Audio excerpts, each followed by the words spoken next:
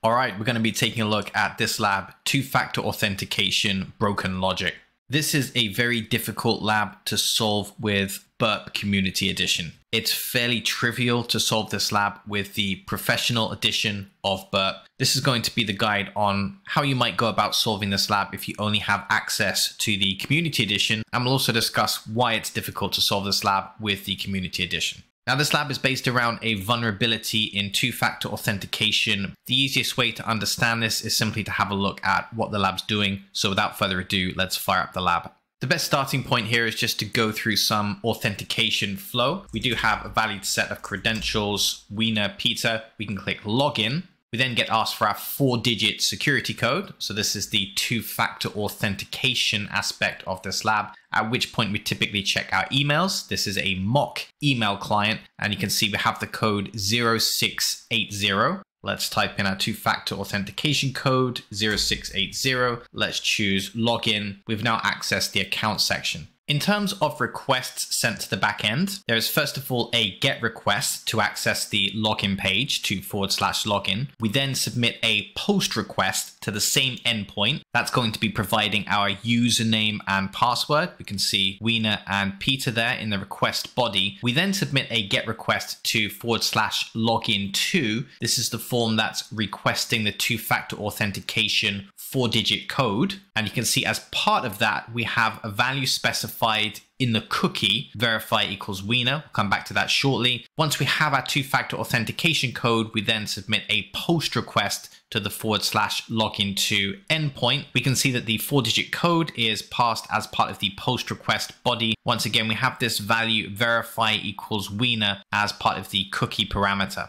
Now, when we think about that get forward slash login to endpoint, it's logical to assume that we should only be able to access forward slash login to endpoint if we've already provided our username and password. That's the flow of this, right? We provide username, password, then we get access to the form where we can submit our two factor authentication. Just to show you why this is potentially vulnerable right out of the gate, we go to logout here, so we don't have any authenticated session at this stage. Let's simply submit a GET request to forward slash login to. We haven't provided any credentials at this stage. We haven't started that process of the two-factor authentication, yet we can simply access the please enter your four-digit security code form. It doesn't require a lot of tech knowledge to understand that we probably shouldn't be able to access the second stage stage of two-factor authentication if we haven't successfully bypassed the first stage of two-factor authentication. Now, although this is a bit strange, it's not a definite vulnerability at this stage, so long as the app just completely disregards any input we provide to this form because we're not legitimately at the second stage of two-factor authentication. Of course, this is a vulnerable lab. That's not how it's going to work.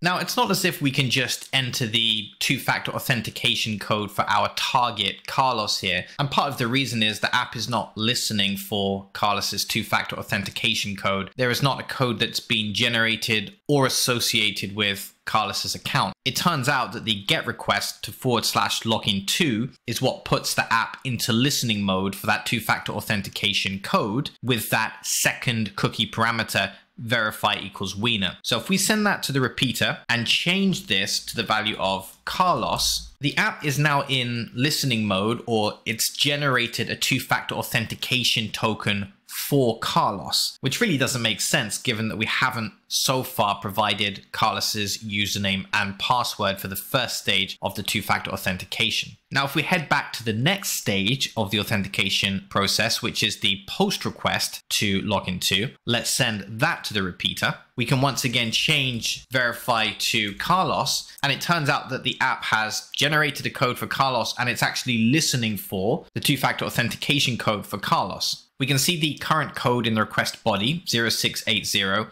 Now that was the code for Wiener. It's probably not going to work for Carlos. It's not impossible, but it would be pretty lucky if it did work. Having said that, we are able to submit an attempt at providing the two-factor authentication code, which we wouldn't imagine we should be able to do either. Just take a look at the render of the output here. Incorrect security code. In other words, the app actually just went and checked. It just went and checked whether this was the valid four digit security code for Carlos. Carlos didn't even complete the first stage of the two factor authentication code, but the app has no problem checking to see if our four digit security code matches with the one that's been generated for Carlos. Now that doesn't give us access at this stage because we still have this issue of the four digit two-factor authentication code, which we legitimately don't know at this stage. Now it's at this stage, if you have the pro edition of Burp, you're almost done with the lab because all you really need to do at this stage is send this to Intruder, head to the Intruder tab, add some payload markers around the MFA code. In fact, Burp seems to do that automatically since it's the only parameter in the post request body. And we can brute force all of the possible four digit pins. Now, a little bit of quick maths reveals that there should be about 10,000 because remember, we also have the pin 0000 all the way through 9999. And it would be possible just to head to the payloads tab and brute force 0000 all the way to 9999. Great with the Pro Edition, you can get that done probably in less than a minute. Burp is very fast. Community Edition, that's going to take a very long time because of the throttling with the Community Edition. I don't know exactly how long it will take, but let's just say to get through even 100 pins seems to be upwards of 10 minutes after the throttling, as a rough guess. I'm going to guess to get through 10,000, we're talking about days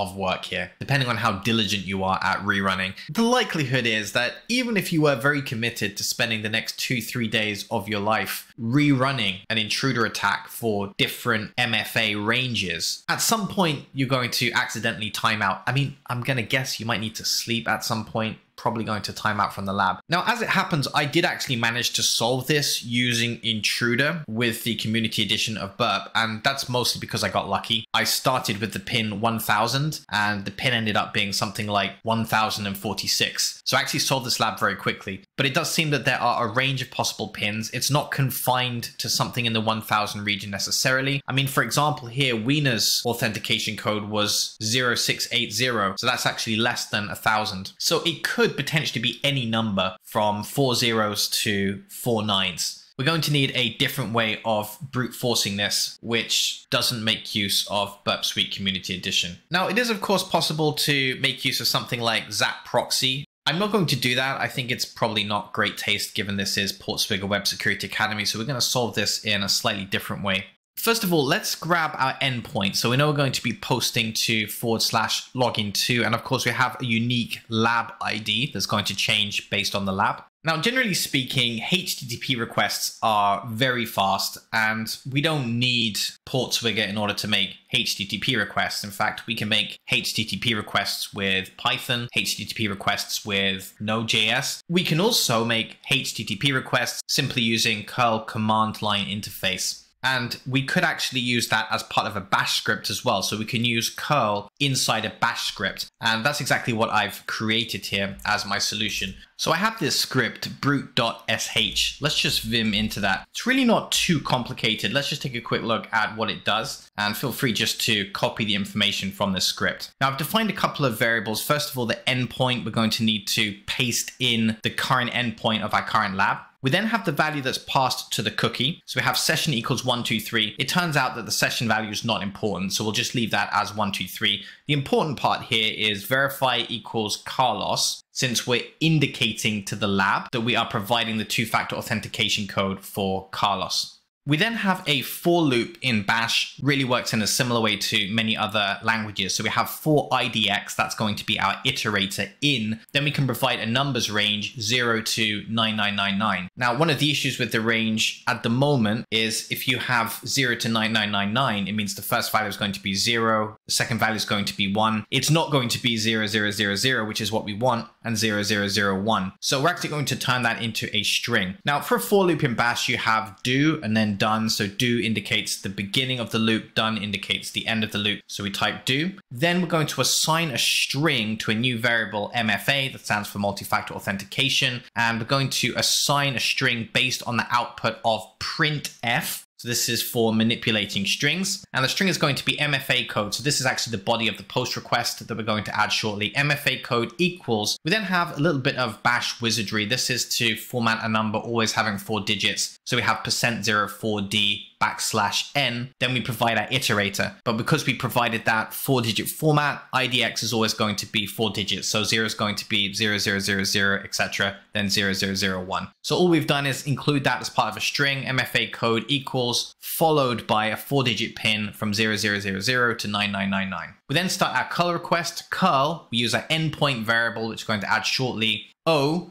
which is going to send the output to forward slash dev null. In other words, we don't want to see the HTML for all of these requests. It's just going to get crazy. Uh, we then have silent mode with hyphen S. The backslash just allows us to use our command across several lines inside the script. So we then have W for write. Now this is very useful. We can actually output a string making use of variables such as HTTP code. So we're going to have a string HTTP code. It's then going to mention the HTTP code as part of the output string because we're looking for a 302 HTTP response. We're then going to just echo the MFA that was used so that when we do get the 302 response, we know exactly which MFA value is used to solve the lab. We then have dash B, that's going to be our cookie, which is going to be the value of the variable session equals 123, verify equals Carlos. We then have data, and we're just going to pass the value of that MFA string to the data. Curl knows it's a post request because it has a body, whereas a get request wouldn't have that. Now, at the moment, this is going to run one request at a time. There is a way of speeding this up. I'm not going to worry about that just yet. I will show you the faster version of this, but it is a little bit more stable just to run one request at a time.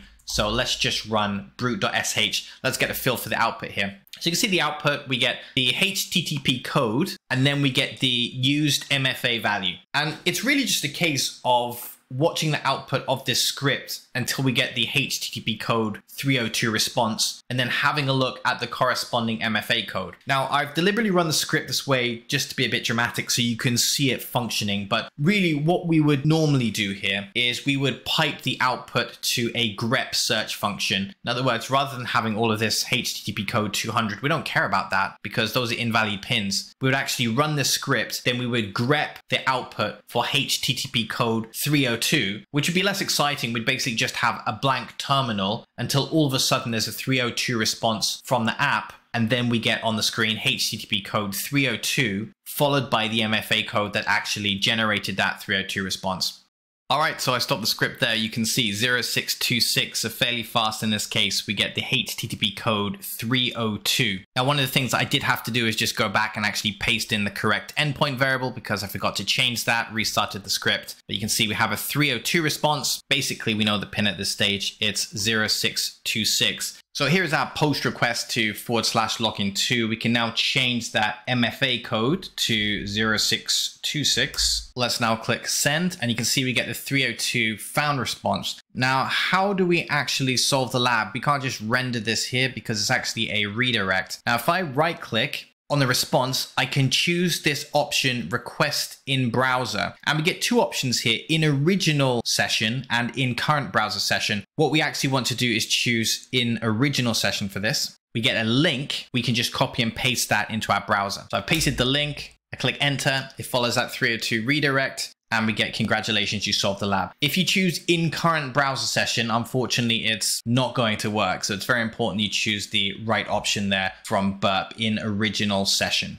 Now, if you have seen this lab solved with the professional edition of Burp, you'll probably know that it's quite a bit faster. I mean, this is fairly fast, what we've looked at. It's definitely a lot better than the throttled community edition of Burp, which would take forever. Even at the rate that we've seen, you could definitely get through all 10,000 within probably less than 10 minutes. So it's definitely very doable, but Burp Professional is even faster. So what's going on here? What we're seeing here at the moment are consecutive requests. In other words, the HTTP request is sent off a response is waited for. Then when the response is received, then the string is echoed to the console, and then the next request is generated. The way that tools like Burp operate even faster than this is by making concurrent or parallel requests. I guess we could also use the term asynchronous rather than synchronous. So at the moment, the script is synchronous, one request after the other, but to be really fast, we want asynchronous. Now this can be a little bit less stable. How would we actually do that in bash? Well, let's have a bit of fun. Let's see if we can still solve the lab by making parallel requests. So we're going to head into our document, which is brute.sh. And one of the things that we can do in bash is at the end of our curl request, we can simply make use of the ampersand sign, and this allows us to move immediately onto the next request while this request is still processing. Now, there's probably more elegant ways of doing this where we control the number of threads, because as you can imagine at this current stage, this could get out of control very, very quickly. But just to illustrate the difference between parallel and synchronous requests, let's run this script. You will notice that it is a lot faster. I have a feeling we might crash the lab though, or get kicked out or whatever it is. Now let's just run brute.sh again.